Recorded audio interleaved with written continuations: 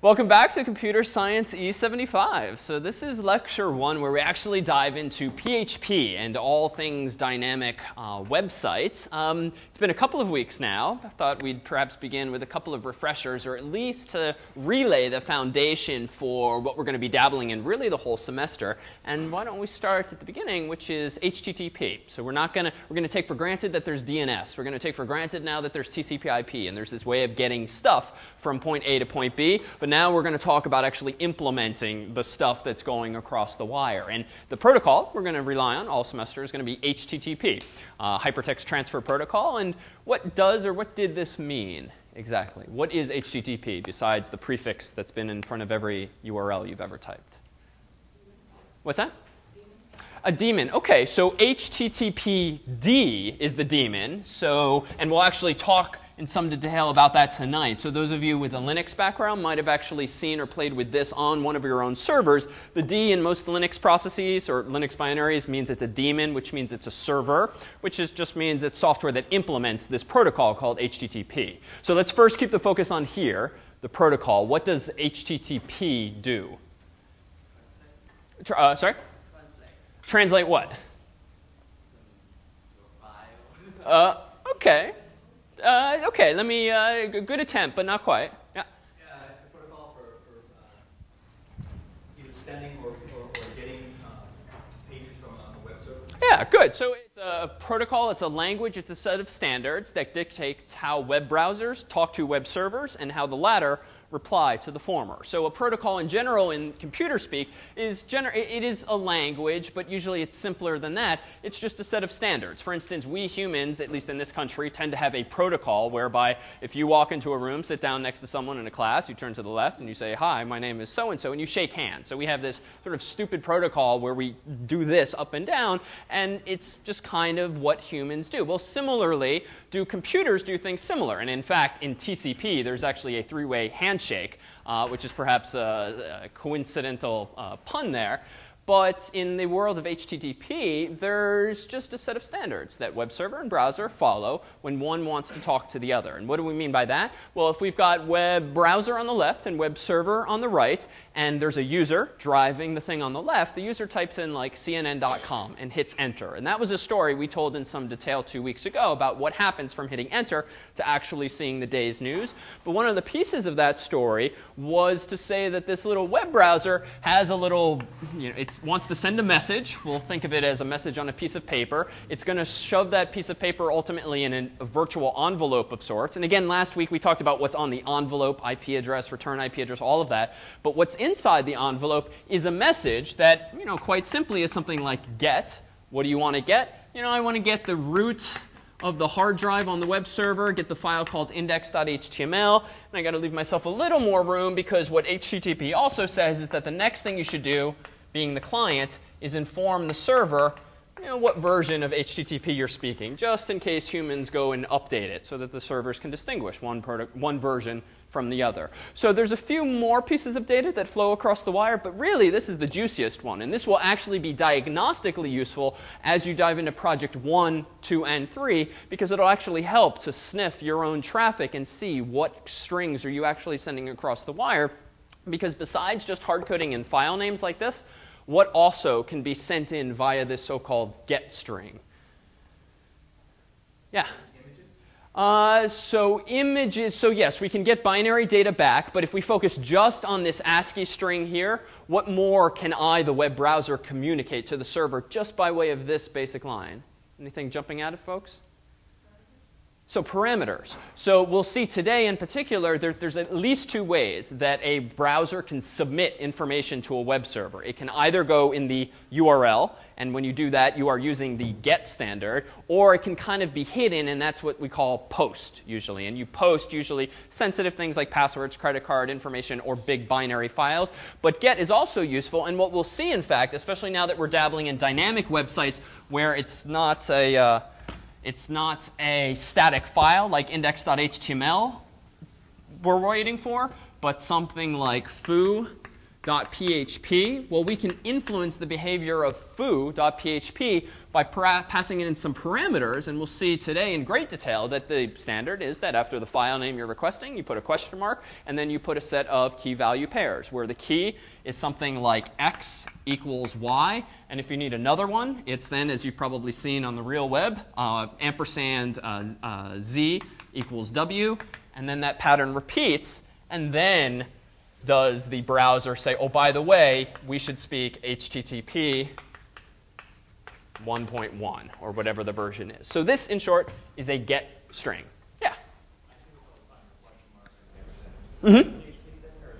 No, so this is a web thing. So this is an HTTP thing. Sending parameters across the wire are encoded by way of a question mark followed by the key value pairs, and each key value pair is separated by ampersands. We'll see over time a couple of PHP uh, specific things. For instance, and just as a teaser, if you uh, find yourself this semester, probably for Project One, implementing uh, like a select menu or checkboxes, so all of which are somehow related. Anytime you want the user to submit multiple values for something, as you can with like a multiple select menu, PHP's slightly stupid convention, to be honest, is if the, uh, the field you want to submit is called foo, it actually encodes it as foo ampersand, uh, open bracket, close bracket equals x, for instance. And then you have ampersand foo, open bracket, close bracket equals y. And what PHP does on server side, as we'll experience ourselves, is if PHP ever sees a parameter name, parameters these things are called, with these open brackets, no numbers or anything inside of them, and it sees it again and again, what it will hand you, the programmer, is in fact an array with all of those values. This is a minor, uh, frankly, an aesthetically ugly thing that PHP chose to do. There, would have, there could have been smarter ways of doing this. But that's PHP specific. Most everything we'll do today early on is very much just web standards, web based. Other questions? Yeah? Uh, I mean, does uh, the number of parameters or the parameter influence in any way the speed at which the page can be sent back to the browser? It's a good question. So does the, do the length or number of parameters influence the speed of this transaction? So sort of. So it can absolutely influence the speed of the gets, uh, the request and the response because the more data you send, obviously, the more bits you have to send. And given a finite uh, bandwidth speed, um, sure, the more bits you want to send, the slower it's going to be. But frankly, as we'll see in a moment when I do a quick demo, there's so much other crap that gets sent across the wire that having a few more uh, parameters really doesn't add up all that significantly. But if we're actually implementing a site like Flickr or Facebook where we're uploading binary data, absolutely, the bigger the content that you're uploading, the longer it's going to take.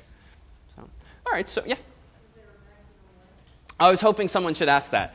So yes, but it's not standardized. So as we will see, the means by which people generally implement get strings is just basic hyperlink. So most everyone in the room probably has some HTML background and you've done open bracket a href equals quote unquote. Anything you put in the quotes there is going to be requested just by definition by way of get. And we'll see this in a moment. The browser will generate a little something like this, send it to the server. So that then begs the question or reduces this question to, well, what's the longest URL you can visit? Unfortunately, there's no standard there. So the rule of thumb, if you kind of Google around and look at empirical tests people have done on IE and Firefox and Chrome, is that 1,024 characters in a URL is safe, maybe 2048 is safe.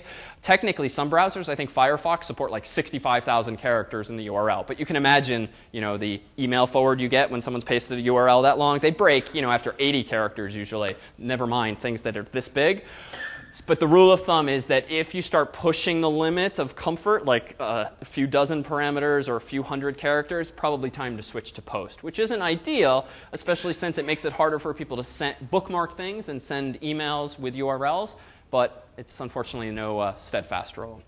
All right, so let's simulate this. And again, uh, one of the lessons from last week was that uh, you are quite welcome to use any browser you want for development, um, though we do expect that you test your code rigorously with at least two. But frankly, Firefox is really going to be your friend when it comes to implementing uh, stuff this semester, I would say, just becomes, because it comes with such a rich set of tools, one of which is this thing called uh, live HTTP headers. So if you don't recall this from two weeks ago or haven't done it yourself, fun at home exercise is go home, download Firefox, the latest if you don't have it, go to the course website, Go to software, and on the course website, what you will see is a bunch of links, and one of whose categories is Firefox add-ons. And frankly, if you just kind of spend a couple minutes, install all these at the start of the semester, you'll find them wonderful tools in your toolkit.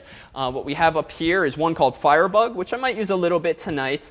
Um, JavaScript debugger will eventually use. Live HTTP headers will use a lot. Show IP is only minorly interesting if you're mm, if your website is hosted by more sites than just one.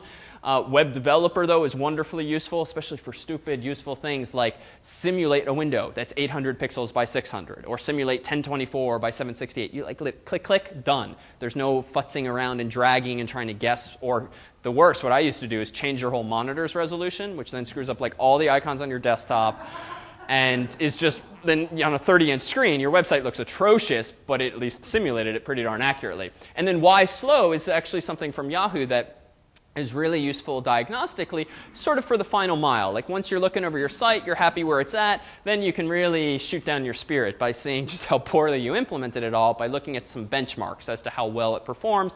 But what that tool does is it suggests some optimizations. Like maybe you should compress your JavaScript. Maybe you should merge these files into one and other crazy things. So um, we'll use live HTTP headers for the moment. Let me go back and open that window. I'm going to put it slightly to the side. And notice it already got filled with a bunch of stuff because just visiting the course's website actually triggered a whole bunch of HTTP requests. And it's funny, our website is probably fairly conservative with the number of requests we make. If you go to CNN.com or any news site that have advertisements and flash content and uh, graphics, you'll see so much stuff go across the wire. And the world has just gotten sloppy overall. So the world has gotten uh, ambitious, wanting to make their websites as dynamic as possible, outsourcing ads to third party companies.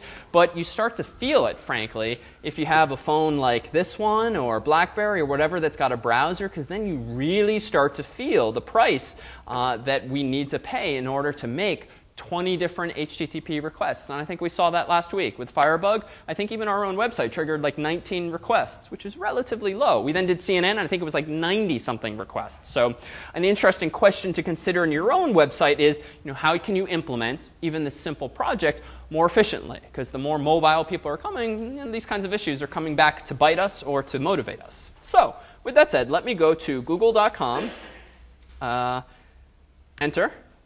A whole bunch of stuff happened even for Google, but let me scroll up and focus on the first. So here's how this tool is useful. So one, it reminds you of the URL you just typed in in the very top line. Two, it then shows you what the corresponding GET request was. So going to the default uh, base directory of a, of a URL, google.com, just gets you forward slash, and that is in fact consistent with what I'm seeing up here. So below this is some stuff, most of which is kind of tedious to look through, and we'll just glance at it but not dwell. But we'll come back to this line, host colon google.com, because that's hugely valuable. Uh, what is this third line representing, for those familiar? Yeah, the browser. So the world has kind of standardized a set of strings that each browser vendor and browser version sends across the wire. It's by no means prerequisite. In fact, people who are really paranoid can even strip this information out relatively easily. You can simulate it fairly easily. For instance, another good tool that I downloaded at some point from Apple's site is this develop. Actually, I didn't even download it. I think there's a hidden feature in Safari, and Google is your friend. I forget how I enabled it, but I enabled the develop menu in Safari 4. And among the things you can do is go to the user agent submenu and you can change what browser you are currently masquerading as, which is actually useful if you want to simulate iPhone development, web-based iPhone development, just within your browser. But what this means, if it's not already clear, is you can't trust the user agent string. Like you can use it for statistical purposes when analyzing your web traffic and all of this, but you shouldn't necessarily, you shouldn't write code I would say in principle that requires that this information be provided because it may not be accurate, it might be scrubbed. Proxies can certainly strip this kind of information out for efficiency or privacy. Just realize that feature may very well be there. All right, so what else is over here? Let me zoom back in. Um, accept, what, what does this mean precisely? This fourth line here that begins with accept colon.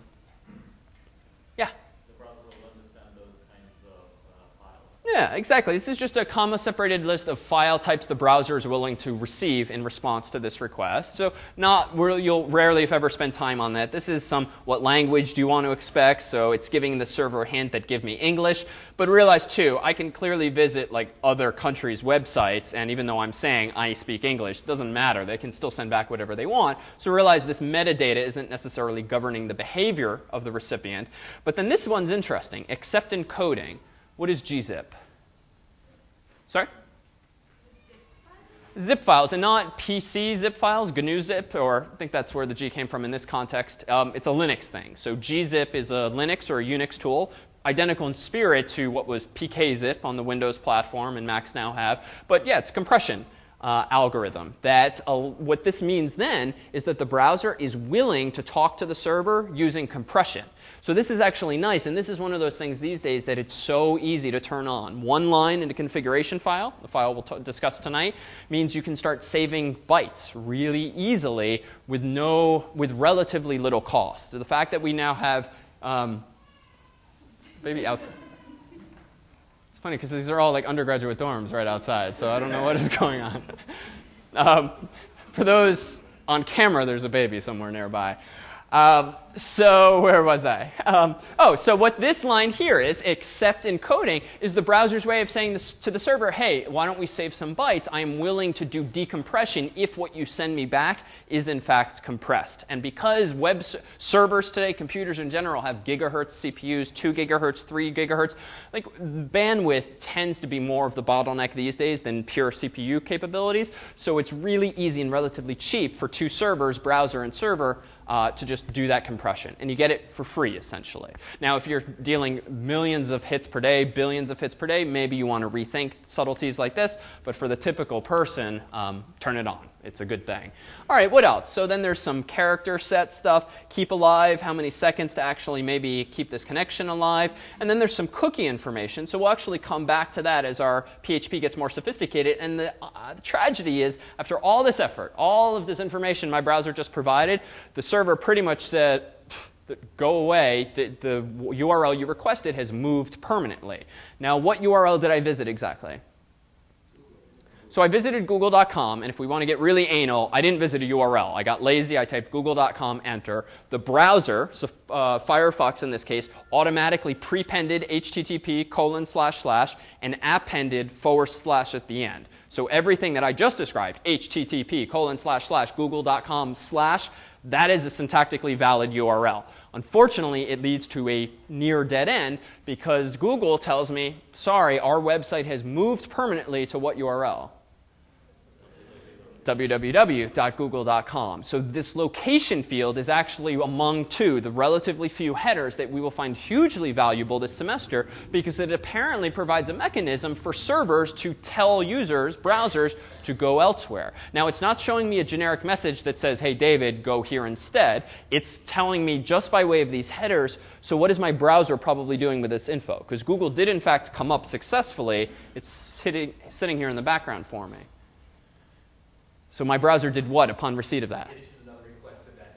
Exactly. So the browser is smart enough to do things recursively. So if the browser, upon parsing these headers, sees, oh, uh, uh, HTTP code 301, that means redirect. I'm going to take it upon myself to go fetch that URL that's in the location header on behalf of the user. Now, you can do very bad things easily, and even I am guilty many, many times of creating infinite loops between one website and another, usually because of some typo that I've made in a config file that we'll also discuss tonight. Because you can imagine redirecting Google to www.google.com and then that one to that one. Really bad things happen, and kind of the internet melts down, or at least your browser stops responding, um, which is probably better. So, what else is in there? Well, let's see. Uh, content type, kind of uninteresting. Date Okay, expires, getting a little more interesting. Cache control. So we'll see too that now that you're implementing dynamic websites with PHP, you kind of have to be more sensitive to issues of caching. Because if the whole point of your site, anything that's dynamic, whether it's Facebook or any website that's got to provide different content, you need to be able to ensure that when you present the user a new page, it is in fact the current view of that page and not left to their browser's discretion to just, eh, let me show you this person's Facebook profile from five minutes ago. Because, right, in Facebook, that would really freak people out if their Facebook profile's got five minutes out of date. So there's got to be a way for the server to tell the browser something like, don't cache this because odds are it's going to change soon. So back in the day, this was great, especially for lots of sites that ended, whose file names ended in .html, because odds are those were not being updated nearly as often. So caching is more of a concern in here too. You're going to start banging your heads for one of the first time against browser differences. Essentially, to tell browsers not to cache pages, we're going to have to copy and paste a whole bunch of lines that empirically, when you try them all, tend to work on all possible browsers. There's no one silver bullet that tells all browsers everywhere, don't cache this page. So even here too, Google has used the expires header, and it's also used cache control, and we'll see yet others like Pragma, which are even more discouraging. Google at least relatively infrequently changes its homepage though. Although, I don't know if you've all gotten this. Sometimes they do it on a per cookie basis. They've changed their buttons lately, their font size. Some stuff has gone on. Still kind of ugly, but still, uh, still simple. All right, so what happens next? That's just one request response. Well, let's scroll down. Well, here is the request, the third transaction here. That's for the official URL. Uh, the rest of the stuff's kind of the same as last time. Oh, and this is good. So this is one of those error mess or codes that you never see, and that's a good thing. So you've probably all seen HTTP 404. What does that mean? File not found. Probably not your fault, probably someone else's, but it means the web page has moved and no one fixed the link somewhere. 404, uh, there's 401. Forbidden file permissions, like you didn't chmod it correctly, or it's not world readable or executable, something like that. Uh, 500, this is a bad one server error, which is such a useless error because you have to really chase it down by way of server logs or trial and error. You tend not to see that with PHP. Saw it all the time with like Perl, or at least I did with my code. Um, but you will see it if you misconfigure a .htaccess file, which is a config file we'll talk about tonight. That's the easiest way to generate it in our context. But 200 means what? What went wrong? Yeah, nothing. So 200 is good. So here too, it's useful to look underneath the hood. And there's dozens more of these, most of which we, for the course, won't care about. Um, but some of them, you know, if you get sort of bored one day or you're curious to really distinguish valid requests from uh, valid responses from invalid ones, this can be a useful thing. So let's see what its response was. Whoops, scroll too fast. So the response that came back from the server here uh, was okay. So what was returned exactly in this request response? Sorry? Uh, so, zero, uh, uh, where are you seeing this? Oh, you're not. So, uh, so realize live HTTP headers just shows headers, so we're not seeing the content. So back in the browser window, just in real world terms, what was returned? So the, the content, right? The index.html page or index. whatever their index.php, default.asp, whatever they're using. So we don't see that here. It was returned, but my God, look at what happened after that. If I zoom out and go, whoops, I closed it by accident. Let me just do a refresh to resimulate the same thing. So we, this was the original request. We were told to, well, uh, small white lie. I, the browser remembered that I was told that it moved permanently. So notice when I when I reloaded, I'm already at this URL. So we've lost one transaction here, but that's okay. So here's the 200. But look at all of the stuff that's gone across the wire. What is all of this? I only have one browser window open. Yeah, so there's at least one image, this big Google logo here. There may be some JavaScript or CSS, but long story short, and this was nothing, those number of requests that run across the wire. Anytime you visit a page that has things like image source or script source or uh, link href or CSS and all of these things, each of those induces, unfortunately, yet another HTTP request. So for every URL that needs to be slurped down to be embedded in the web page, the browser needs to make another HTTP request. And if you've ever wondered, if you do have smartphones of some sort with browsers, why things are kind of slow sometimes, I mean, just look at the overhead, right? This is Google. There's really very little content. But look at just all of the metadata that was sent across the wire just to get that page here. And if we look at the source code for Google, it's fairly minimalist, but it, it's certainly compressed these days. A lot of it's white space, but I mean, relatively, uh, relative to the HTTP overhead, it's kind of a lot. So that's expensive, all of these headers. Yeah? Yeah, um, does the browser or the server compose the strings that you're showing us? Both. So it alternates. So how do you, how do you distinguish when the, in, in what you're showing us, how can I distinguish what the browser was composing versus what the server was returning in the, in your, Yep, uh, it's relatively easy. So the first one is going to be from the browser because the server can't contact you proactively. So it just alternates, to be honest. And what the program does is you can't really see it on this overhead. There's a thin dashed line that separates each pair. So uh, you can kind of see it. Where my arrow is, there's a dashed line. So in between every pair of dashed lines, there's request, response, request, response, request, response. Purely alternating. the two? Yep. That's all. Blank line between the two, and that's it. Just alternates. Okay, s- so we saw a mention, though, of uh, keep alive there for a moment ago. Let's see. Yeah, keep alive 300 seconds. So thankfully, one of the things HTTP 1.1 did was it implemented these, this ability to keep alive. So those of you who have some networking background might know that we have HTTP here, then we have TCP, then there's IP, then there's Ethernet. Like there's a lot of metadata that the world has relied on for years to get data from point A to B.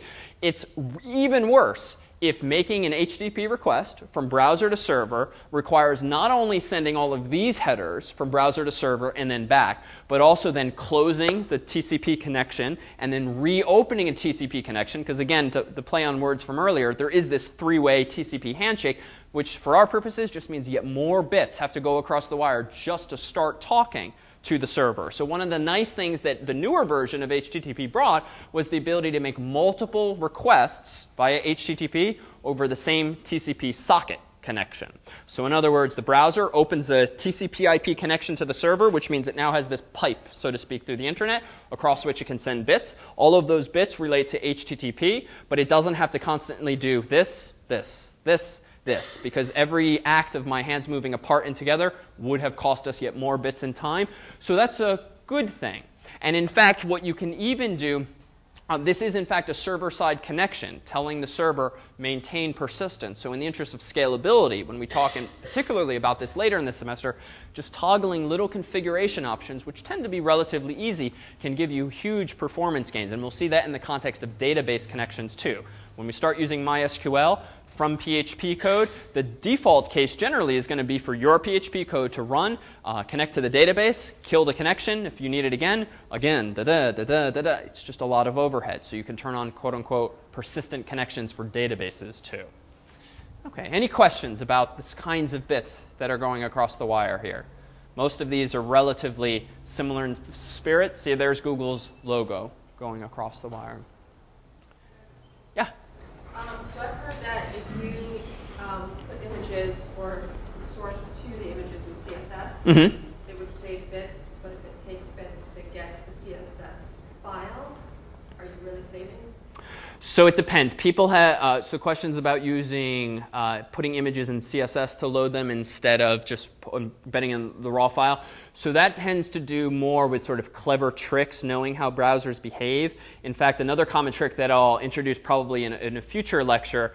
Um, only because I, I want to compile some, some good examples. A lot of websites that have a lot of images these days will essentially, for the sake of minimizing the number of images that need to be downloaded, and this might be exactly what you're describing, um, people will, if their website needs to have 10 images, one's over here, one's over here, one's over here, like it's not one big image, it's like 10 small images, they will nonetheless use Photoshop or whatever to put them all in the same file, the same JPEG, GIF, or P- P- uh, PNG, so that when the browser downloads that image, yes, it's bigger, but they download it all at once, and then using CSS and maybe some JavaScript tricks, they essentially only show the user, say, pixel number 23 to 46, and then 46 to, right? They just essentially move a little sliding window using CSS tricks and Z uh, indices sometimes and tricks like this, so that you only look at part of that image. And it's increasingly common. It's a pain to do manually, I'm sure. I'm sure people are using tools for this, and it's really, frankly, I think, got to be taking the fun out of doing web development when you have to optimize to that level.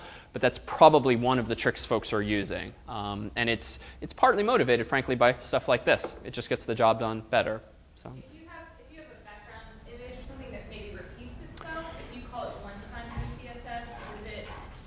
Only requests it once, so that's good. So the web's done that very well for a while. So if you take an image and just repeat it using HTML uh, syntax or using CSS syntax, no problem there. It's only downloading it once. So these are tricks when people have lots of images that they ideally want to get all at once in one HTTP transaction, just to again avoid all of this overhead, which does add up. Yeah, other questions? All right, so who is this server that we keep talking to? Uh, so, Apache. So Apache is kind of the de facto standard out there, at least in Linux environments, and for folks who are somewhat cost conscious, um, because it works really well. It's really free. It's open source, so people can get comfort with looking at source code. They can even troubleshoot bugs at the low level if they really want to. And frankly, these days, there's just no need. And this is not at all, I'm fairly OS agnostic, but um, there's just no need to pay for something like Microsoft Internet Information Server when all you want to do is host a website because you can do it all for free at very high volumes. This is known to be one of the highest performing web servers out there, and there are yet other options. And it kind of comes with every Linux installation. It comes with Mac OS X Server. Um, and we'll see, too, for the course, that it's really easy to download even onto your own Mac, PC, uh, or Linux box that you may have yourself. So you'll find occasionally during the semester that it's useful to consult the documentation for this, not because you're going to be doing a lot of configuration of Apache. For the most part, CS75.NET gets handed to you pre-configured in a fairly standard way. But we also set an option in our config file that says let the students do most anything they want that's possible technically in your own public HTML directories. And you'll do this by way of your own custom, uh, custom config files called .htaccess files. So what does that mean? You'll be able to do things like Google did. If someone visits davidmalan.com and you want to standardize on www.davidmalan.com or vice versa, few lines in a configuration file called .htaccess can implement that precise, uh, can implement precisely that for you. So you can do a lot of powerful things, especially related to URL rewriting, some of which we'll introduce into the course, but I offer it now so that if in the future you're trying to do something like change all of the links on your website, to change uh, paths or file names, or you want to change domain names, you should start thinking rewrite rules. And we'll see some of those tonight. But what's in our own config file? So we saw a line in uh, CS75.NET that I said was hugely advantageous, and that was that host line, host colon, and then it was this sort of gratuitous reminder of what website I had just requested. But that's actually really useful because as we said two weeks ago, we have one server, a VPS for the course, and we've got like 150 students and therefore 150 domains. So even though there are lots of IP addresses in this world, most of them have been taken already. So there's 4 billion IPs, you know, most of them are taken such that uh, the crazy folks sort of predict the end of the internet you know, in a year or two when they really run out. So um, hopefully that won't happen and we'll still be plugging away. But the means, one means by which we can mitigate that concern is let's just use the same IP address for all of us. Right? The world has supported what's called virtual hosts for many years now, so it's pretty safe. it's quite safe to go with this these days for a typical site. And what virtual hosts allow us to do on a web server in the official web server's configuration is uh, host multiple websites all on not only the same physical computer but at the same IP address. But that then begs the question if a browser, per the story two weeks ago, I type in foo.com and hit enter, uh, DNS gets involved, gives me back an IP address. I then put that IP address on my virtual envelope and send it to cs75.net. How in the world does the server know to give the user David's website or Sid's or Dan's or any student in the course? Well, thankfully, the browser is sending a reminder where? A little sanity check here. In that host line. So browsers these days, because modern browsers have been written by people who realize we need to support virtual hosts, send this reminder, host colon, and then the name of the domain or subdomain that you typed in in the URL. Because that's the only mention in the HTTP headers of the actual domain name typed in. Anything the user typed in in the URL uh, related to domains is otherwise gone because everything else happens at two weeks ago's level TCP, IP, all the stuff that's all numeric, not human readable in terms of foo.com or host names. So, what's in this file? Well, this is literally excerpted from CS75.NET's own uh, httpd.conf file. It's kind of hard to pronounce these things, but you get familiar with them because they're fairly standardized across uh, Linux and Unix and Mac OS systems. So this is the server-wide config. Unfortunately, it can be in any number of places on your, on your own machine or on a corporate server, but common places to look for it are somewhere in slash etc. So where config files tend to be, but it really varies. So doing a full disk search is sometimes the easiest. So inside this file on our server is a whole bunch of code that looks like this. And it kind of looks like XML, but it's not. It's kind of a half-assed approach to making XML, but it's Apache's approach to implementing their config files. And you can kind of read it, even if you've never seen it before, top to bottom. So virtual here comes a virtual host. What IP address should this virtual host be defined for? Well, that IP. Whose IP is that? Well, that's one of the four that that company that we pay to host cs75.net gave us. So we hard-coded it into the file. And then what's the colon 80? Yeah, port. So 80 is the standard port for HTTP. Can override it, but that's the standard. But this is very specifically telling Apache or HTTPD only expect the following virtual host to come in on that port and that IP address. And if you somehow see, for DNS reasons, requests for malanrouge.com come in on a different port or a different IP, too bad. Ignore them. So this is very specific here, but I could have done things like an asterisk and put star, colon, star, if you don't even want to worry about that level of detail. So what else is up there? Server name. So this is important because we need to tell Apache who is this virtual host for. So let me zoom in for just a moment. So server name tells Apache what the official name is for this host. And then there's this thing here, uh, server alias. So there's a little bit of unnecessary redundancy here because directadmin is being a little stupid by spitting out the same domain name twice. Completely not necessary, but so be it. But there is something slightly different. What's another alias for www.malanrouge.com?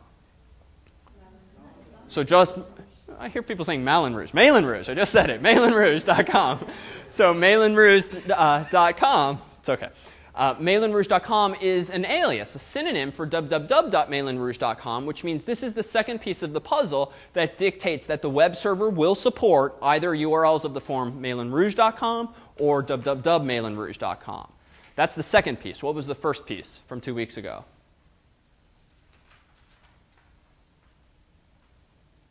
What else needs to be configured properly for both of those to work? Di- oh, yeah, I heard. DNS, right? Both of those entries need an IP address associated with them or a CNAME associated with them. So in other words, we must define both malanrouge.com and www.malanrouge.com in DNS because that means we'll associate an IP address, maybe it's the same, with both of those. That will let internet traffic get to the web server, and that's when step two kicks in. The web server has to be configured to expect traffic on both of them. Yeah? So that distinguishing between www.malanrouge.com and malanrouge.com, that's done on the root servers? Uh, that's done on the, no, no, no, not root server. This is on our server, the web server. So in the, maybe I meant the root of the hard drive or something like that. Root servers, no. Those never come into the story anymore.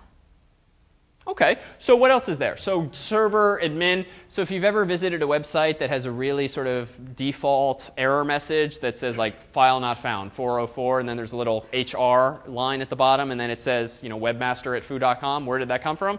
Came from this file right here. So if you get those really generic error messages, it's funny. Something you've seen for years, like there's the magic. So uh, all revealed. Document root. This one's important, and you can probably infer what is the purpose of this directive here.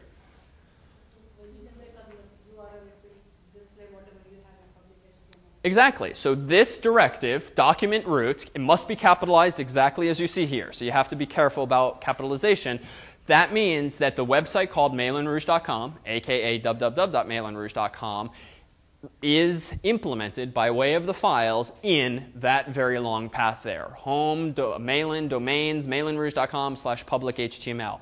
Now, if you've poked around your CS75.net accounts already, you realize this is actually a nice feature of DirectAdmin. It allows individual users like yourself to have multiple domains all within the same account. So you don't need a username password for every account. But again, this is roughly arbitrary. You could put this stuff anywhere you want. All right, what else is up here? Well, we'll come back to this, but there's this thing, SU, uh, SU exec user group, Malan Malan, custom log, custom log. That just means where to put the logs, and we'll see in a moment where you have access to those. Uh, and then there's this, whoops, Then there's this uh, directory. So inside of the virtual host, we have some sort of permissions being set here. So in for the directory, home mail domains, malanrouge.com, public HTML, enable the following options all. So when I said earlier we allow students to pretty much override anything that's technically possible, it's because we said options all in this config file. SUPHP engine on, we'll discuss in a bit what it means to actually implement things relatively securely on the server, and these are an add-on we use. It's very standard, it's very free, called SU PHP, but that'll become relevant in just a moment. But for the most part, that is all DirectAdmin had to do for me when I clicked a link on uh, panel.cs75.net that said create domain, and it asked me a couple of questions like what is the domain name. It then generated this file, reloaded the configuration into the server, and voila, malanrouge.com is now there on the internet. Any questions about this config? Yeah? The concept of uh, virtual directory. Virtual directory where uh, we can have the files, whatever we want to display in a folder and it re redirect the web uh, web server to, to that folder. How does where do we fit that here? I mean, I don't want it to be. I don't want things to come from public underscore HTML. I want it uh, to come from a subfolder under it or from somewhere else. Uh, can I do that? What do you mean by from somewhere else? like uh, somewhere uh, in, in, in, my C drive or D drive or. So, I essentially do not want, uh, say for example, if I have bought a site like www.domainname.com mhm. slash index.html, I do not want it that way. I want it like www.domainname.com slash uh, say some some name like xxx slash index.html. I want all my files to uh, to lie in there. Okay. So just to summarize, suppose you want to put all of your content in a subdirectory of, say, public HTML. So there's a couple of uh, very simple solutions, but one question first. One, do you want XXS to appear in the URL or just on the file system? No, I want it in the URL. Okay, so in that case, it's very easy. If you want to have a subdirectory, just call it foo. I would just create inside my own public HTML directory a subdirectory called foo. I would dump all my GIFs, JPEGs, CSS files in there. And now if I wanted to make sure that visiting www.mydomainname.com uh, slash always redirects to XXS, then I would use these little tricks we'll see in a bit called rewrite rules that just forces any requests for just the root of the web server to automatically go to that subdirectory. So two steps, both of which are very trivial. But she wants to keep XXS or foo or whatever in the URL itself. So we literally need the directory. And even that's a slight white lie. Using rewrite rules, which are available incidentally, not just in Apache, but many different web servers simulate the same idea, you can actually do very clever things like is increasingly common. A lot of websites today, if you have a URL, they will often do something like foo.com slash bar but bar is not actually a directory. It's not even a file. Even I've actually begun doing this in sites I make. I will generally have a file called bar.php. But as a matter of style and a matter of flexibility, if I ever want to change the language that I've implemented the site in, I actually hide most of my file extensions these days very simply with a little .htaccess file, which again we'll discuss. Just because one, this looks a little cleaner. Two, it saves me four bytes with every request, which frankly don't need to be spent anyway. And three, if I ever do change to Java or something else, I don't have to worry as much about changing all my URLs around. So a couple of tips then for Apache. Generally on a server, uh, you, the owner of the server, would do something like go into, uh, let me do this. So var log httpd and then access. Uh, so I can't see it as a user, but it would usually be called access log or it would be called error log. But because we have hundreds of people all on the same server, we don't want to just give everyone access to the same files because then you'd see somewhat private information. So one of the nice things that DirectAdmin does, which most of these panel tools do, is if I go to https colon slash slash panel.cs75.net and watch, we too are using a rewrite rule. Let me zoom in and hit enter. Oh, interesting. Has it expired again? Damn it. All right, that's a good, good teaching moment. We will explain how you renew a SSL certificate at some point. Uh, yeah, well, we use the certificate in two different ports, and I must not have updated it on that one. So notice that my URL has changed to port 222. We thought it would be a little lame if we had to tell you, the students, always go to https colon slash slash panel.cs75.net colon 2222. Just another thing to remember, and it's inelegant. Kind of needs to be that way because that's how DirectAdmin works, but notice the redirection happened automatically, and that's because of a little config we did using some of today's building blocks. Unfortunately, uh, we got tripped up by the SSL warning because that's my mistake. But let me go ahead and just log into my sort of student account here. Uh, DirectAdmin, again, you won't use very often for the course. You'll use it like maybe once per project just to get yourself set up, but it's so useful, honestly, um, just in simplifying some common tasks. I'm going to go to Site Summary. And notice in this interface here, there's a bunch of stuff. Frankly, I've rarely looked at all of it. But up here at the top, Notice you can see the last 10 lines, last 100 lines, or your full usage log or full error log. If you run into a problem where you're really having trouble chasing it down, or God forbid you're getting the uh, HTTP 500 error, you kind of have to go into the logs, and they're all accessible here for you. So another good diagnostic tool. And then also realize we will start talking about MySQL at some point. We talked two, day, uh, two weeks ago about DNS management. You're welcome to play around with the email stuff, but it really doesn't matter if you use or don't use email for the course. Uh, and then finally, for the most part, yeah, there's not much more that you'll need to do just to get basic websites up and running. Yeah.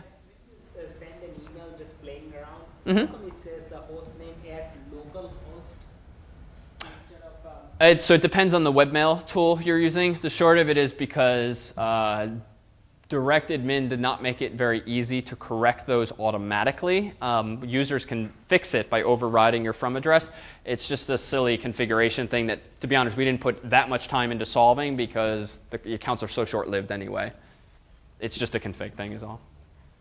Yeah. Yeah, this, uh, have multiple domains on one server instance is, is kind of handy. Is, is that Uh, other words, if I go to, if I go, you know, buy hosting someplace, is that always going to be there? Do some people restrict that or not provide it technically? Or No, for the most part, any web hosting company these days is going to use virtual hosting because that's the only way they get economy of scale. They have a $2,000 server and they have 20 customers on it. the question is, will they, will they allow me to run multiple domains mapping into one Apache instance or, or whatever, or one of the servers? Oh yes, so it, so yes, so for instance, a lot of web hosts, DreamHost, for instance, is one I've used. They allow you to sign up for like 20 bucks a month, and you yourself can host multiple domains in your own account on their same server. Um, but I'll qualify again. I I found better uh, hosts since then. Okay, other questions? All right, why don't we take a five-minute break? That was a lot.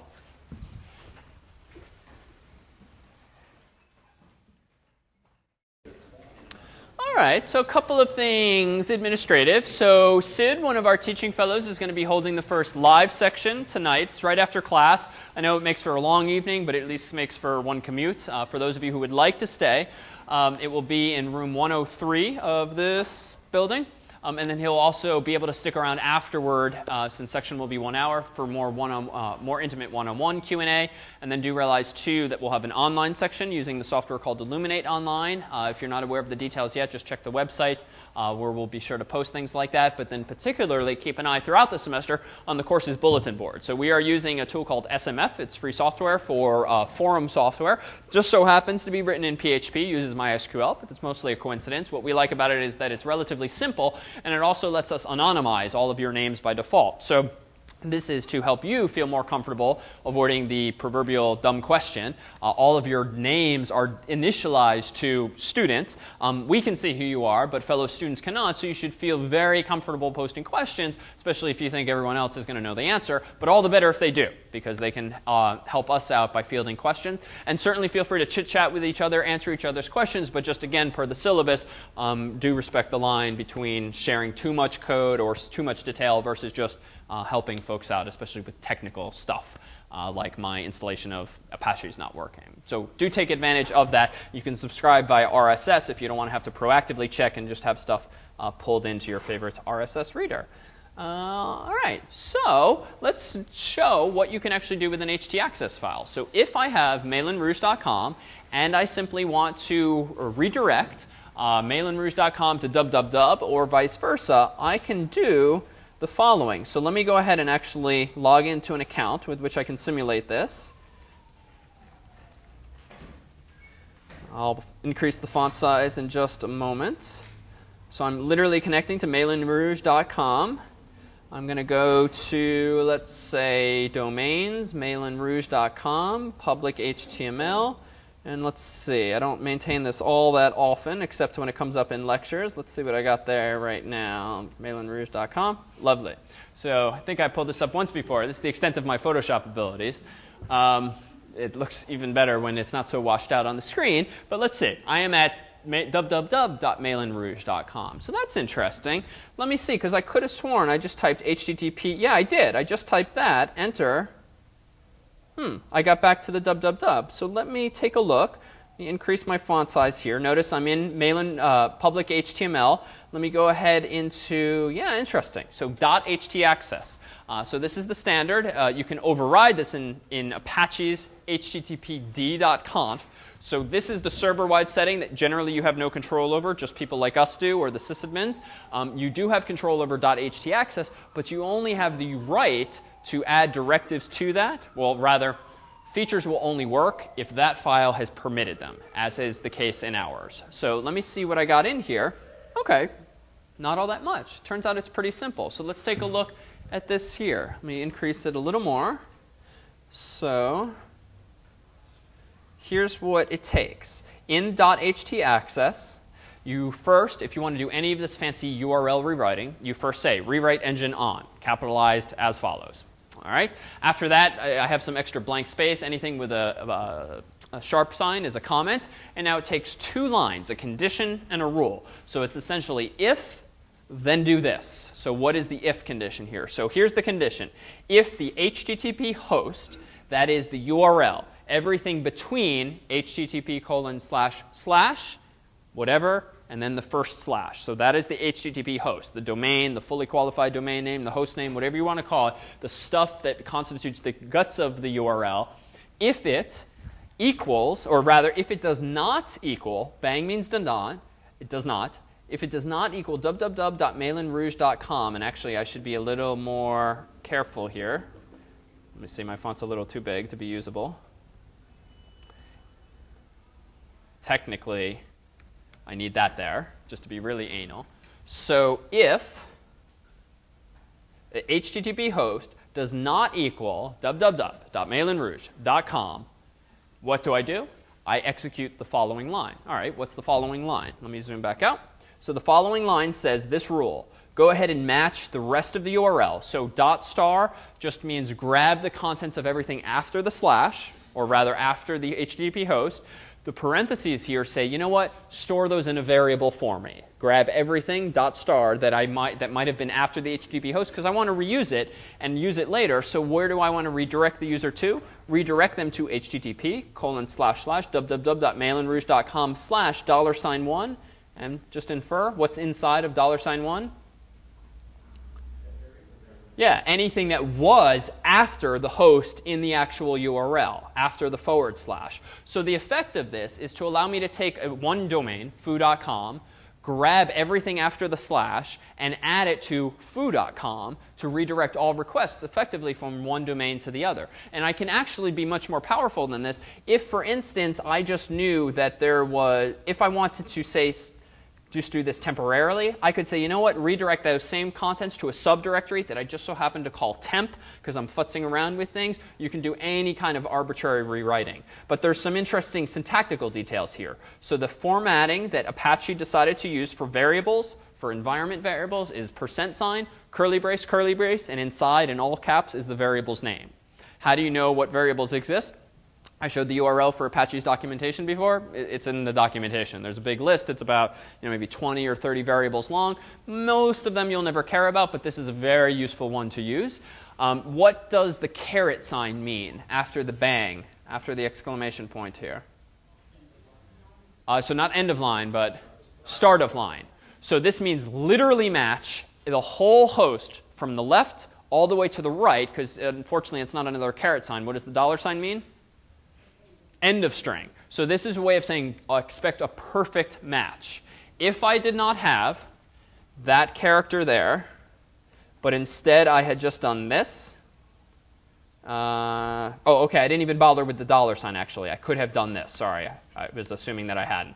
So if I just did this, you know, odds are 99% of the time it's going to be just fine. But the thing is, if I had, for some crazy reason, done crazy things in DNS, like supported, uh, let's say, uh, new www.malanrouge.com,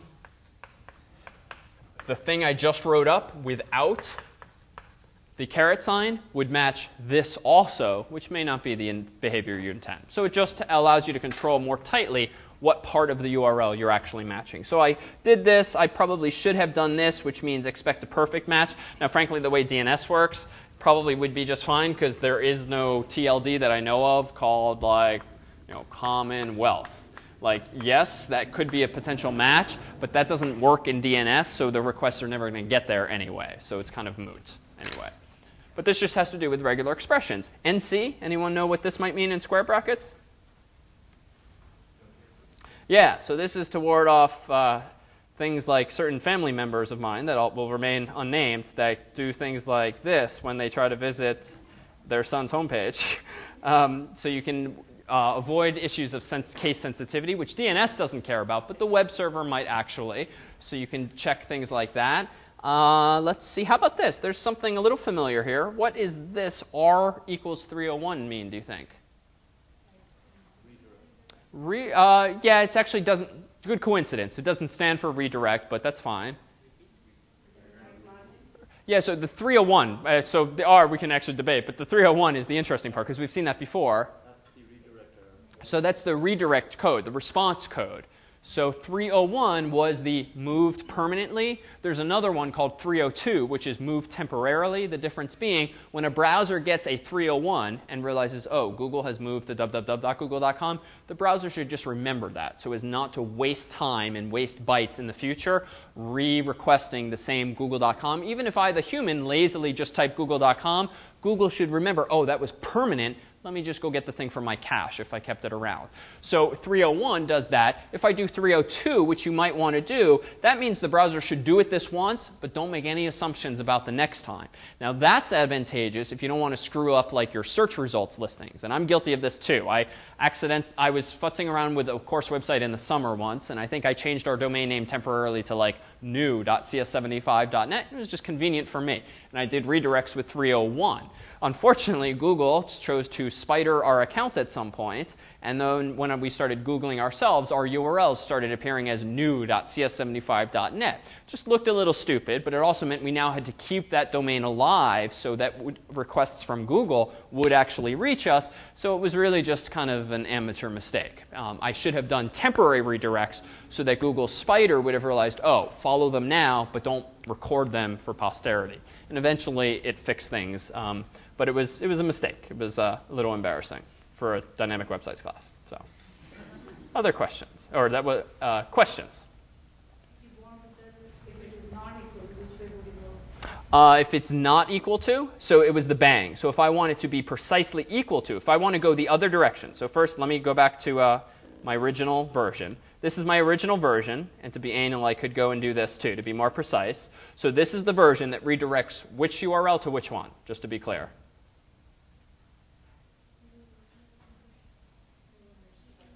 MalanRouge.com to www.malanrouge.com. And I'm actually being a little loose. Technically, this does what I just said. This redirects MalanRouge.com to www.malanrouge.com. You know, fine, eh, we can sort of argue whether or not this is which is better, but the reality is if I haven't made any other DNS entries, this is equivalent because what I'm saying here is if it is not www.malanrouge.com, make it so.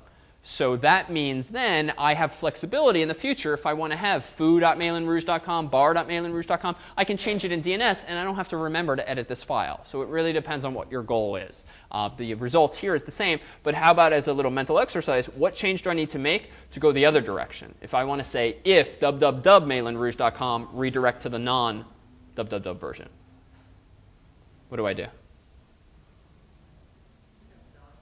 Sorry? Take out the not? Okay. And now what?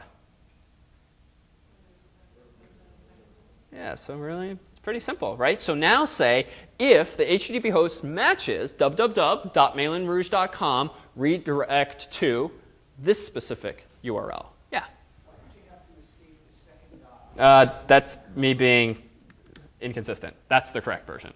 So the dot in general in a regular expression means any character. Now, realistically, the odds of there being a host name called www.malanrouge.com with no dot on the left is very slim, but it was just a typo on my part.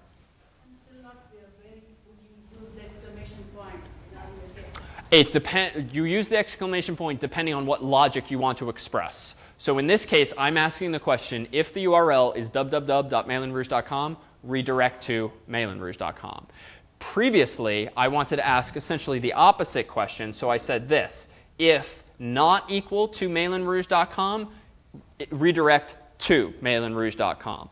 But that would be equivalent, logically, for most cases, to saying this. If equal to malanrouge.com, redirect to www.malanrouge.com. This is more narrowly defined. The one with the not would allow me to have any number of host names all redirecting to www.malanrouge.com. So again, um, understand certainly the specifics here, but understand more importantly sort of the basic syntax, because then you can express most anything you want. And we're keeping things fairly simple here, in fact. Before the Mail Rouge, you had a slash. Uh huh. What is that for? Uh, before this, let's see, this one here. So, uh, okay, so just to burn this into brains properly, this is the way my file pedagogically should have been. It's when, when we started the story. So the backslashes mean, is that true? Yes. The backslashes mean treat this dot as a literal dot, not as a regular expression dot, which means any character. So this is correct. So if, I mean, frankly, this was my own stupid little website, so it really didn't matter, but should have mattered for class. This is what I would have done in this case correctly. And so really the only question now I would propose is how do we flip the behavior? And I propose that we can do this in a couple of ways, one of which is to say if the domain name doesn't not equal, but does equal, redirect from there, malan, to malanrouge.com. Well, let's see this behavior. Let me go ahead and reset Safari and empty all of its possible caches. Let me go to http malanrouge.com slash enter. Okay, I stayed there this time. Now let me go explicitly to www.malanrouge.com. I'll zoom in, enter. Okay, it works. Now let's just do something kind of silly. You know what? Uh, to hell with these people that are trying to visit my website. Let's send them there. Uh, www.mailinrouge.com, enter. Much better website. So you can do anything. And this is actually useful information if you want to redirect from one domain to another or whatever your scenario might. Uh, oh, this is kind of pretty.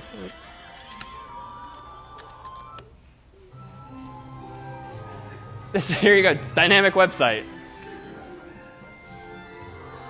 You'll get into the habit, probably, right clicking a lot or control clicking, and you can see how people implemented this. So these guys apparently chose to implement it in Flash, for better or for worse. That's actually very pretty. Okay, but very irrelevant. All right. Um, so any questions about mod, mod rewrite is the name of the module that we've been demonstrating, and most any feature of Apache is generally called a module or mod. So this one's called mod rewrite for reference. Uh, yeah. Oh, wh- which one?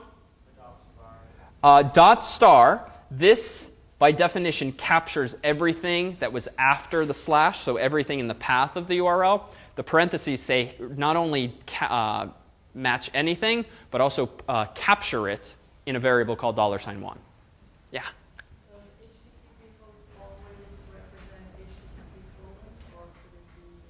No, it it could be any. We could change it to HTTPS, for instance.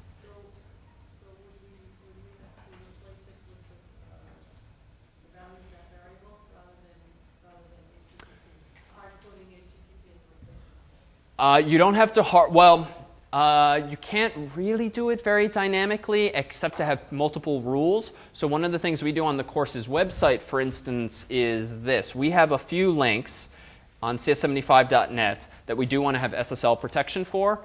Um, and the way we do this is by way of an htaccess file. We have a little directive that says if the URL matches the bulletin board or grades or I think that or the login page, force the user to be redirected to HTTPS. And we do this by way of a different Apache variable. This one is percent curly brace HTTPS and we check what the value of this variable is. So we have two rules. And one says if it equals HTTPS, go to this version of the URL, or if not, go to this version. Yeah, not really here because you couldn't capture just an S in this context very cleverly.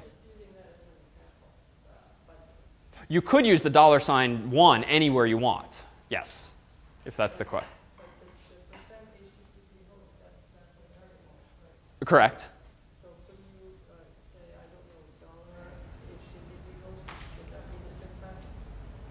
No, uh,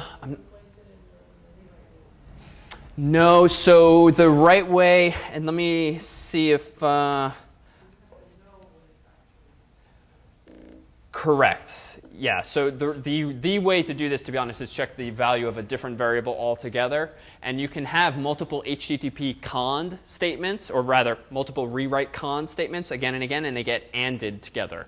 Uh, by nature. So they go again and, and, and until they hit the first rewrite rule. And incidentally, this L is relevant. This means this is the last relevant rule in this set of lines. So this means any subsequent rewrite rules or conditions should be treated as separate. Yeah? Um, you typed in Malan Rouge without the .com, or does it need the .com? So technically it needs the .com. Browsers have gotten somewhat user-friendly so that That's a browser. that is purely a browser thing. It is assuming I want .com. It's then realizing, oh, if I append MalanRouge.com, I then get redirected to www.malanrouge.com. So a lot happens behind the scenes. And the same deal goes to, I'm I'm, I suspect that like uh, the very first browsers years ago, um, like Mosaic, you probably had to type HTTP colon slash slash, and only over time did people realize humans don't want to have to type that gratuitous stuff anymore. So a lot of this magic happens on the browser's part, and even on the ISP's part these days. A lot of ISPs have been getting a lot of flack, at least in the geek community, for DNS hijacking, where they will, if you make a typo and go to malanrougefoo.com, rather than return to you a DNS, a server not found error, uh, they will send you to here's a page of ads from Comcast. Why not click through one of these? And they do this. This popped up on my own cable modem recently, and you have to explicitly click an opt out link and type in like your account number or something annoying just to get out of this uh, service. And they do it just because they can. And it's kind of it's kind of wrong. Like there are tools that rely on negative responses coming back, not 100% positive responses to DNS queries. But ma- that makes them money. Other questions? Yeah. Um, for HTTPS, do you need a dedicated IP? Uh, for yes, good question, and we'll we'll come back to this when we focus more on security. But yes, for HTTPS, you do in fact need a dedicated IP address, which means virtual hosts break down. So this is the reason we don't give everyone the ability to have HTTPS URLs in the course because we don't have 150 IP addresses. We just use one for ourselves. Yeah. It's outside the scope of this discussion, but is it VMware ESX that's doing this virtual host? No, that's different. So e VMware ESX is an example of a virtual machine technology, completely different uh, than virtual host. Virtual host just means multiple websites, same IP address. Virtual machine means illusion of multiple computers on one physical computer. All right, so this is Apache. We have largely uh, editorial, uh, we have largely administrative control over it on CS75.net. How can you at least get to know this stuff yourself? How can you develop on your own machine? Well, you have a couple of, a couple of approaches. One of which is to use this tool like this, XAMPP, uh, which allows you to download all at once. Uh, uh, not Linux, but Apache, MySQL, PHP, and optionally Perl, all in one package. It installs it, works relatively easily. And what this means is that you will have a web server, a database server, and a bunch of other stuff on your local computer with which to do development. What we will also release at some point in the semester is a virtual machine, per your uh, comment a moment ago, which will be your own copy of Linux that you can run in a window on your computer and will have done all the configuration for you. Um, that's not something you necessarily want to run in a production environment in perpetuity. Um, so I would certainly play with this because it's just another approach to the same problem, uh, but realize that we will experiment with that this semester. But long story short, you can certainly just rely on cs75.net and the tricks you'll learn in the PDFs uh, for projects and in sections and so forth. So realize you don't have to go figure this stuff out. It's just for those who want to, for whatever reason, develop on their own machine. Just totally fine. All right, so now let's do something in this context. Let's uh, begin our discussion of PHP, which we'll continue to focus on entirely next week. So forms are really all the websites we're going to do boil down to. This ability to get input from users either comes from the act of their clicking URLs and sending get strings, as we've seen and will continue to see, or filling out forms or clicking buttons, changing select menus, generally triggering get or post uh, requests of web servers. So the basic building blocks, if you've made web pages before, but perhaps haven't actually made anything dynamic, we're going to have the ability to make text fields, like the thing up top. Uh, password fields, almost identical, but little bullets uh, go where text might otherwise go. Hidden fields, if you want to send a value from browser to server and you don't want the user to see it, you don't want them to be able to easily change it, you can send it hidden. Uh, but that's not a security mechanism. Realize that there have been instances of poor implementations of like e-commerce websites where people send the prices of the items people are adding to their shopping cart in hidden HTML fields.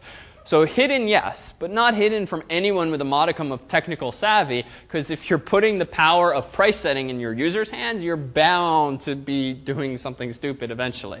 So there have been, and I'm sure you can find instances if you Google around of people buying like whatever, a TV for like a penny, because they just changed the HTTP request, which is so easy to do in any number of ways, one of which is with Firefox plugins, and another of which would be through Telnet manually.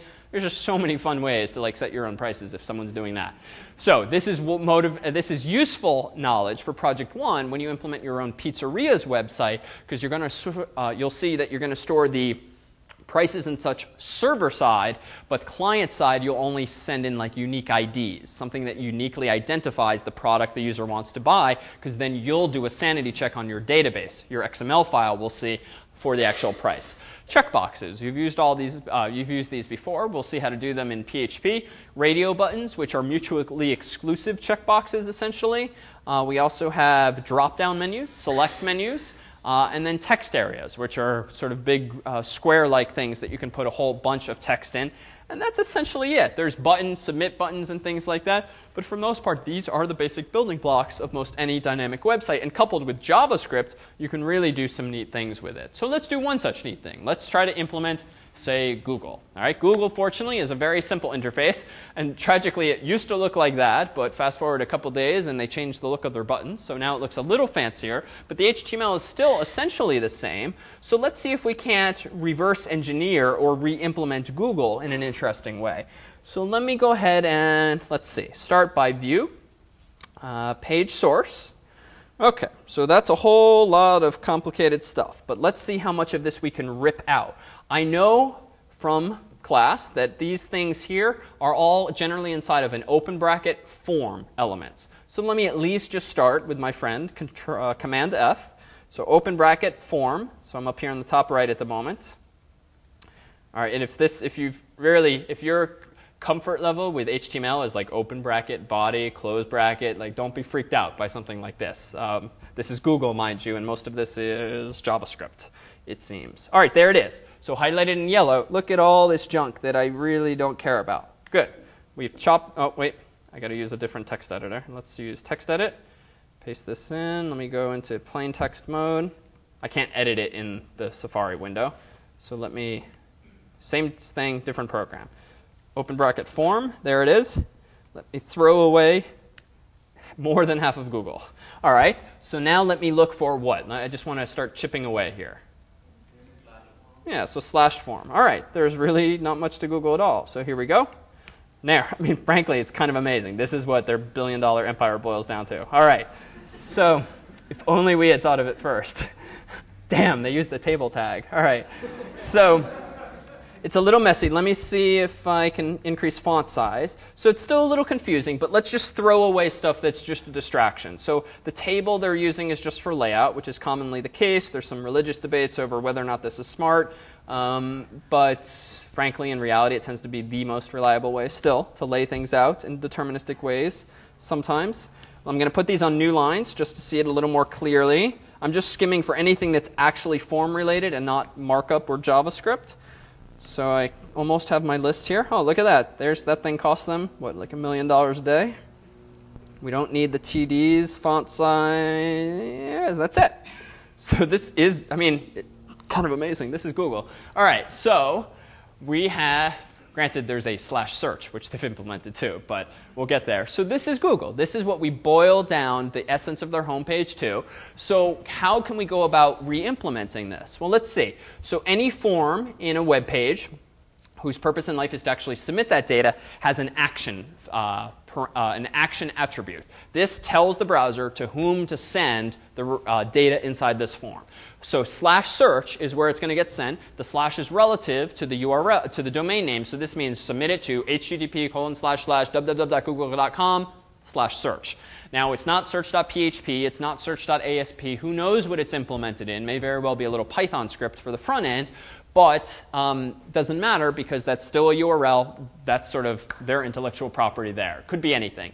Now the name here is actually not interesting because that was probably used for JavaScript. So I'm just going to get rid of that too. Notice Google is somewhat lazy when it comes to, whoops, putting things in quotes. They're clearly not using XHTML. Um, they're kind of using a particularly sloppy version of HTML, but frankly, you know, that's probably several thousand dollars a day just to put in that quote mark, so all the better if they can get rid of it at their volume. So let's get rid of it uh, so it's not a distraction. Here too, they're skimping on quotes. So let's see, input name equals HL hidden. Eh, I don't know what that is. Let's just get rid of it. Source, this is also hidden. Eh, I've never seen that before. Let's get rid of that. All right, auto completes, bit of a distraction, max length. So this is just one way that they're trying to impose restrictions. This is client side. It means someone can still submit billions of characters to their web server just to mess around, but this is at least discouraging the browser from doing that, or a malicious or bored or clueless user from pasting in thousands of characters from their clipboard, perhaps. But this is the juicy part. I mean, this is the secret sauce of Google's front end. That is the query. So that's the per name of the HTTP parameter that they want submitted to Google's search engine. Size just says how big should it be. This is just aesthetics here. So there's really not much going on there except that. All right, then there's this, the button. So input type equals submit makes it a button. The value puts the label on that button, and then there's some CSS stuff there, and then the I'm feeling lucky button. So I'm going to go ahead and just copy this, the essence of Google. I'm going to go ahead to, let's say, Malan Rouge here. I'm going to create a file called google.html. Um, I never quite remember, frankly, even uh, these days, how to make an XHTML web page. So I usually go to some other web page that I've made, and then I view the source. And then I go like this. And then I go back to my code. And then I, yet again, avoid having to memorize it. So now I have the essence of an XHTML page. I'll go ahead and set up some basic structure here. Body, close body, and then close HTML. Why XHTML? Um, just because, really, in this case. We're doing something simple, but I'll try to practice what we preach. I'm going to go ahead and put in a title. Uh, we'll call this Fake Google Ti uh, title. And now I need a body. Let me go ahead and just paste in Google stuff, and then I'll clean it up. All right, so just to be a little anal, but also to make it more clearly readable. Um, whoops. I'll do this. And you know what? If we really want to one up Google, right, let's incentivize people to come to our site by really cleaning it up and making it really efficient. Let's see, we don't need that. Really don't need any of that. Let's make it well formed. Uh, so now I've actually made a better version of Google than Google did. Can be really anal here. None of these will have any material effect, as we shall see. But notice I'm also leaving a space here. This is decreasingly necessary these days, but for empty XHTML elements, folks still, at least myself included, get into the habit of um, using a space. And I'm sorry that the screen is a little washed out. Let's see if we can fix that a little. Um, people still use a space toward the end of the tag there in hopes of just avoiding confusing slightly older browsers. These days, it's probably really not necessary. Yep. Uh, close the form. Yeah, sorry. Thank you. I must have missed that or deleted it. Let me go ahead and remove this. Input type equals. Okay, and that's really all we need. So now I have a very basic HTML form.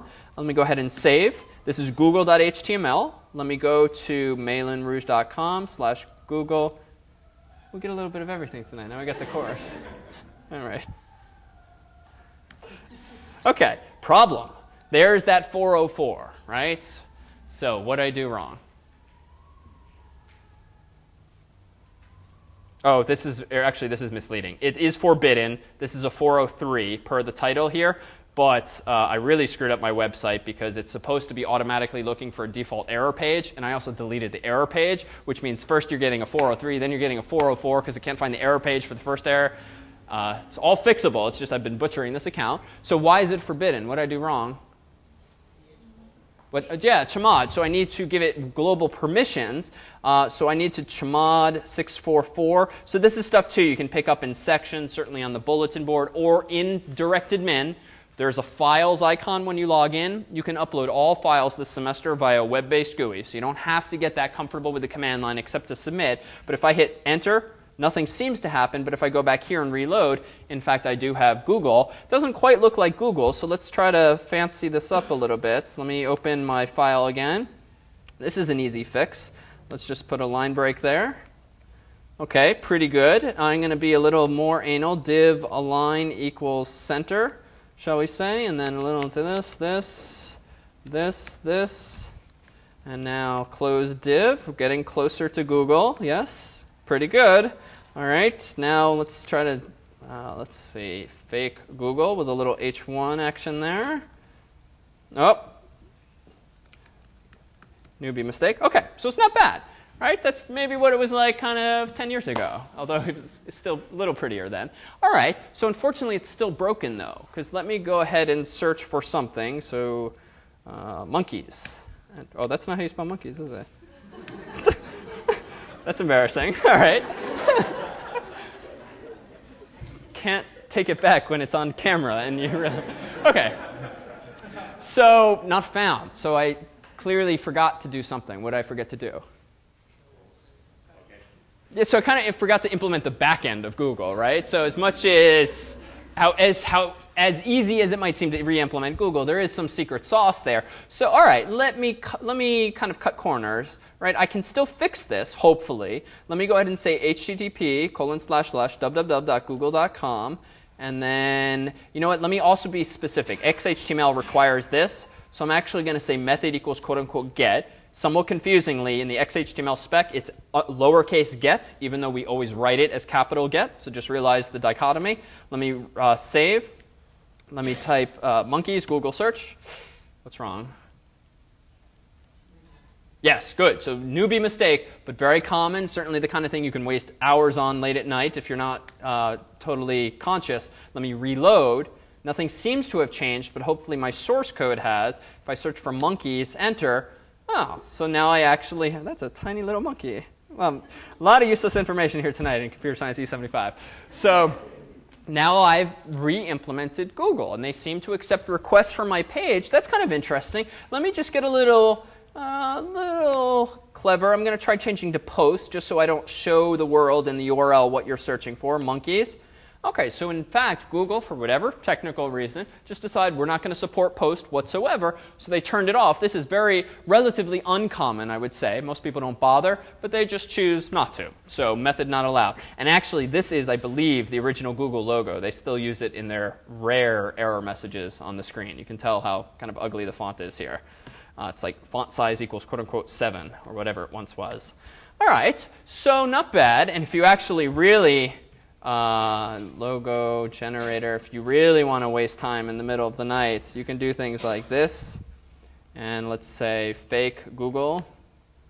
And we could now download this. We can embed this in our page. Right? I, I won't go. We've between monkeys and Disney World. I think I've pushed the limit enough. But realize that you can do some fun things even with that font there. So what's the sort of interesting takeaway? Well, one, implementing a dynamic website seems to have two parts. One is the client side. One is the two is the server side. We clearly have punted on the server side. So let's see if we can now fill in that blank using a bit of PHP. All right. So PHP is a scripting, a, uh, an interpreted language. So what does that mean? There's no explicit compilation step, which means you're not going to click a compile button. You're not going to run GCC. You're not going to run Visual Studio on the thing. You're just going to write your English-like PHP code, put it on the server, name it something.php, and the server, upon receiving a request, not unlike this, is going to realize, oh, this file ends in .php. Rather than just return the contents of the file to the user, thereby disclosing all of their hard work and intellectual property, let me execute it or interpret it, then send the results of execution. So what this means is when we start writing .php files, inside of there are going to be some kind of statements that say spit out a bold tag, spit out this text, spit out an HTML tag. In other words, we're going to start dynamically generating our tags and our content. The fact that I've just put this up here is actually a hugely useful thing. So one of the best things about PHP, hands down, honestly, is its documentation. I would personally say it's probably the best of any modern language I've seen. They have so many nice examples. It's all standardized. It's way better than JavaDoc even, which because JavaDoc is so damn overwhelming with all of the classes that ship with the JRE.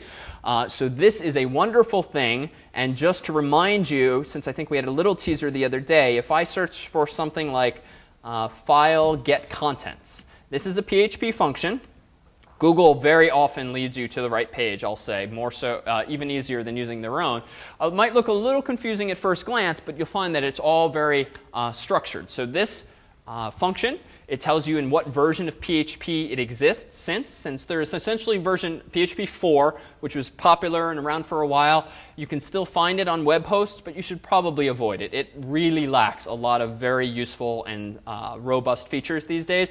We have PHP 5.2, I believe, on the server. There is now PHP 5.3, which we've intentionally not installed on CS75.net because a lot of open source packages have just broken with it because they've really changed things around. So just realize that 5.2 is probably the sweet spot these days, or 5.1 when you're shopping around.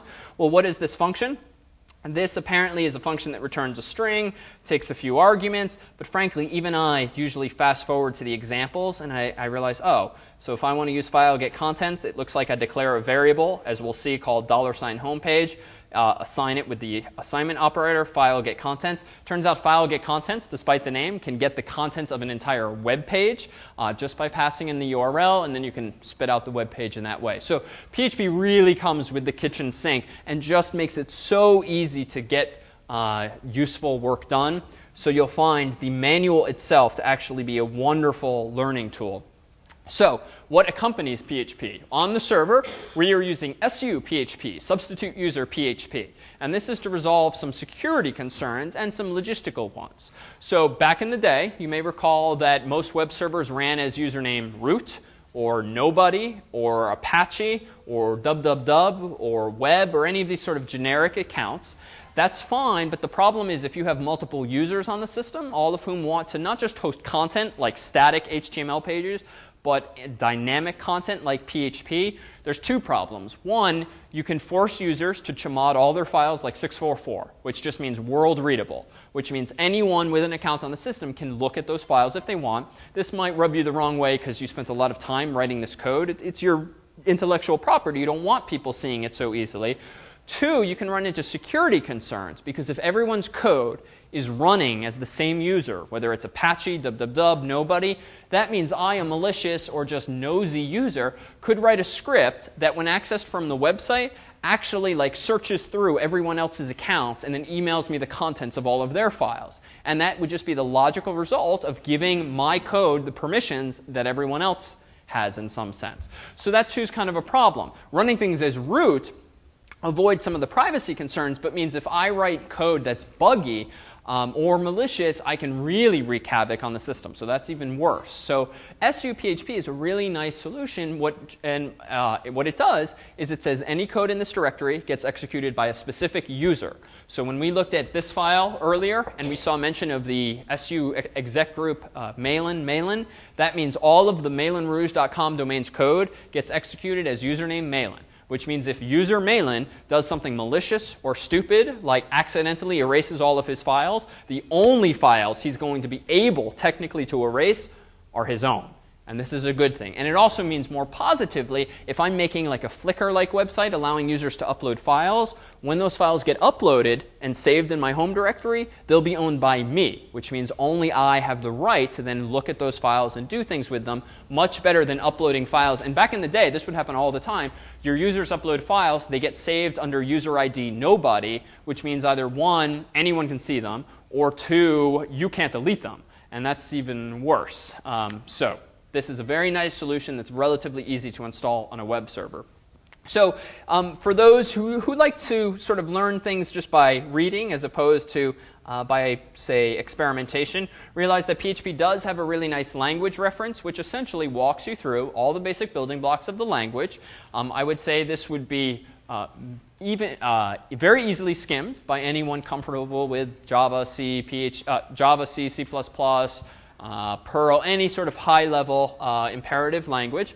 Um, and it'll dare say get boring quickly because you're just going to be reading about the syntax of a while loop or a for loop. But frankly, just to sit down for like, you know, while eating a snack, um, skimming through it. For those coming at the course with more background, we'll probably just find it a very easy way to acclimate to the slight syntactical differences with some languages. Those of you who have less experience in the course might actually really benefit and enjoy reading through it because it's relatively simple material, but very clearly presented topic by topic. And so that URL is here in tonight's slides. Um, just to get some, some basic foundation in place for next week then, variables are not strongly typed which means you don't say char, you don't say int, you don't say double, you don't say float like you do in some languages. You just say dollar sign variable name. Now there are uh, there's a notion of loosely typed variables, which means variables do have types, which is useful in some contexts, as we'll see. But for the most part, there's a whole lot of automatic conversion. So if you, this is useful in a web context because any input a user provides, by nature of this stuff, is coming at you as text right? It's being sent via HTTP. It literally is characters. Doesn't matter if those characters are one, two, three. That is a string. It is not an integer coming across the wire. So in that sense, it's kind of nice that PHP isn't so anal about strong typing in this sense. But we'll also see that um, um, it's not necessarily as uh, secure or as well, uh, uh, well designed a language. And in fact, I would say right now, learning PHP, it's definitely mature, but it definitely lacks some really useful features that are really annoying that it doesn't have, like namespaces, if you're familiar with the idea, or packages.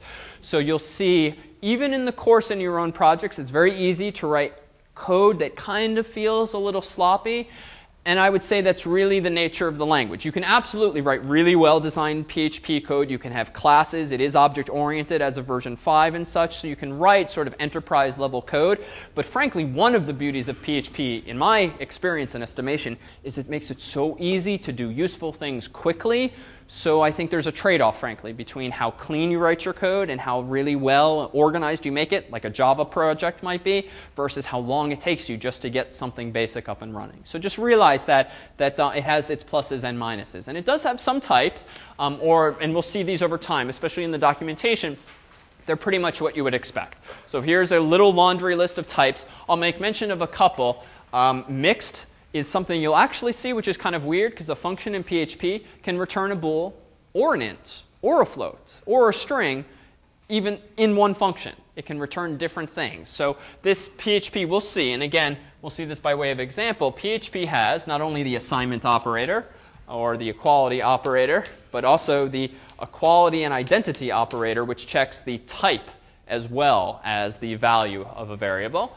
So we'll see that over time. Um, and yeah, let's see. So this too is just another reference. Let me just let us glance at it real fast. This guy here is not just about um, uh, syntactic details of the language, but about PHP references. So when we use this dollar sign notation, there uh, you'll see over time, and this is slightly more sophisticated. So this is meant sort of as the advanced reading. You didn't, you didn't sink your teeth really into this just yet. You can pass things around by references, which aren't quite pointers. They're references in like a C++ sense or in a Java sense uh, for efficiency's sake. So realize there are some neat language constructs in there. But I would say for those less comfortable in the material, don't worry so much about recommended reading like this. But what is useful for today is to point out some of the really neat and powerful features of PHP that we'll be making significant use of. So in PHP, when you just start writing a foo.php file, first of all, if it's not been implicitly clear already, any PHP file has to start with open bracket, question mark, PHP, and end with uh, question mark, close bracket. Now that's a slight white lie because you can very easily in a config file, which for our laundry list of keywords today, is generally called php.ini. This is sort of PHP's equivalent of httpd.conf for itself. You can turn on what are called short tags and just write code that looks like this. Um, and this, just like ASP has this idea, JSP has this idea, anything in a file that begins with this and ends with this will be executed. Anything outside of this will just be spit out literally. And we'll see what this means in just a moment with a little demonstration. As a rule of thumb, if you're ever going to write PHP code that other humans need to use, you're writing a library, you're writing a project with other people, go the more verbose route because it means they don't have to change their web server to run your code. But anytime I'm writing code that's only for my use, I think this is ugly uh, and just an unnecessary waste of characters. And so I go this approach. So just realize if it's for yourself, do whatever you want. For other people, do it the right way. Uh, so PHP has this notion of super global. So PHP does have global variables, but we'll see they're not really global. It's kind of annoying to use them. But so super globals are what most in this room would think of as global variables. They're all capitalized, spells precisely like this, with the underscore. And inside of these super globals, do you get some very useful information handed to you on a platter, so to speak, including any variables that were submitted from a form via get, dollar sign underscore get. Any variables, parameters that were submitted to you via post, dollar sign underscore post. You get both of those together in dollar sign underscore request, including cookies, which are also put in dollar sign underscore cookie. Right, there's a pattern here, and this just means you get very easy access to the data you ultimately care about. This was a much bigger pain in something like Perl early on, and God forbid C or C++ when you really had to implement the parser of strings like this yourself. So PHP handles all of this nuisance and just hands you the variables you care about. Um, other ones we'll see eventually, especially at final projects that you might use, files. If the user has a bunch of those browse buttons and uploads a bunch of files, they get handed to you in an array called files. Session is going to be hugely powerful when we start implementing things like shopping carts or just maintaining state. It's a hugely useful thing. And then you've got things like dollar sign underscore uh, server, which have got a lot of environment variables and metadata that is often uh, useful as well. So a quick example then of this. Let me go ahead and re-implement my own version of Google Search. I'm going to call it search.php uh, which apparently uh, did previously. So here I'm going to have pretty much the same setup as before, a very basic page. So I'm going to call this again fake Google. And let me just do this. So hello world. So this is a file called search.php, but there's none of those things in it just yet. So realize that very often, although you can move away from this sort of uh, intermingled approach, very often are you going to commingle HTML or XHTML and PHP. Here I've done that, it's just I've used no PHP yet. So let me go into google.html, change this URL to not be google.com, but rather what? Search.php. Okay, so search.php. Let me go back to my browser here, fake Google. I reloaded. Let me go ahead now and search for monkeys, Google search. Okay, not very helpful, but clearly I've gone to the right place. So let's now take a step back. Let me go back into search.php. Whoops, left off the file extension. Search.php. And let me do this. I've already know from a moment ago that inside of dollar sign underscore get are all of my variables. So let me see that. You know what? Let me do something like uh, open bracket question mark, and then uh, question mark close bracket. I'm going to go on a limb here and say that there's a print function, and I want to print the contents of get. Get on all these superglobals are actually uh, arrays, associative arrays, aka hash tables. Uh, so I'm going to go and say, quote unquote, what was the parameter I submitted? Q, yeah, so Q, close quote. I could use single quotes there or double, but the point is I'm calling a function called print. I'm passing in a parameter. What's that parameter? It's the value of the key called Q in the array um, dollar sign underscore get. And I'll incidentally try to fix the colors for next time because it's still washed out with the lights down. Uh, let's go ahead now and let's save that. Let's go back to the browser. Let's go back here, reload monkeys, Google search. Hmm. What's problem? It's actually a good debugging session. What's wrong? Good. So remember, one of the last things we did earlier was change it to post, just to kind of mess around with Google. You can confirm as much, because even though I click submit, notice what is not in the URL any of the parameters, which means they were sent sort of behind the scenes, which is what post does. So actually, let's see. So I could fix this in a couple of ways. I could change it server side, whoops, post, and let's see if that in fact is consistent with the uh, diagnosis. Reload. Yeah, there it is. It was inside of post. Let me be uh, stubborn and leave it as get. Let me go back into google.html and change my method back to get go back to the form, reload, type in monkeys, Google search. Okay, so now that works as well. Just a little sanity check now. Uh, let's say I had another variable here. Let's do something like this. Uh, let's say input type equals checkbox, name equals random, and value equals yes and then click me for random. So I'm just coming up with something completely arbitrary, just so I have a new thing. So let me type in monkeys here, click the checkbox here, click Google search. Okay, I haven't revealed the contents, but notice in the URL what's happening. The browser did this whole encoding of the ampersand separating the parameters and values for me. So this is actually very nice that it's consistent. How can I get at that value? Well, let's see. Let me go back into search.php. All right, let me print out not only that, but you know what? Let's see. I don't know how best to do this yet. So let me get a little, little sloppy and let me just print out a BR because if it prints, then it's spitting out correct HTML.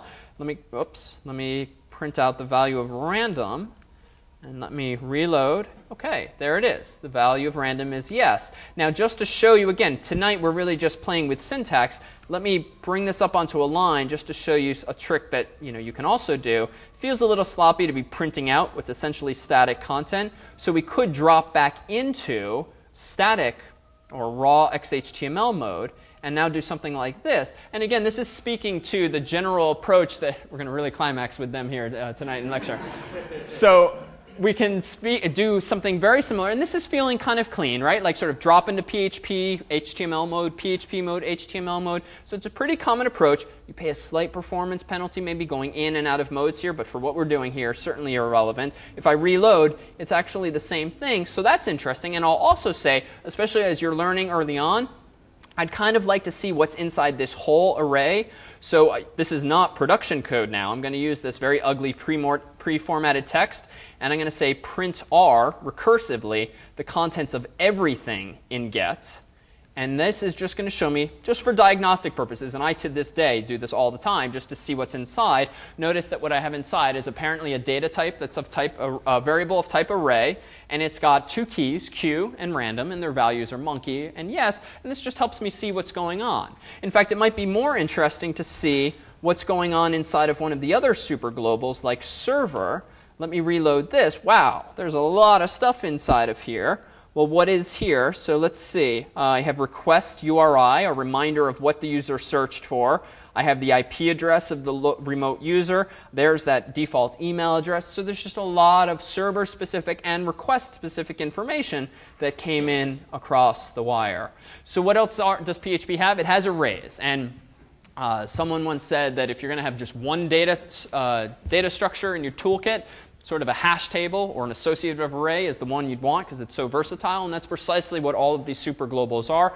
An array in PHP can be numerically indexed. You can have bracket 0, bracket 1, and all of that, or you can put arbitrary strings in there just as these, have, these super globals have been using. And we'll see that is quite useful.